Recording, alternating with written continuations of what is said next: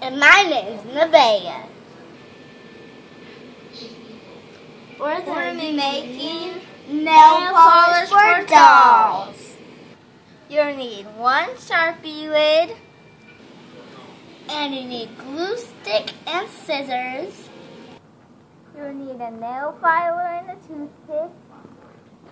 You will need a crayon that is any color. Started.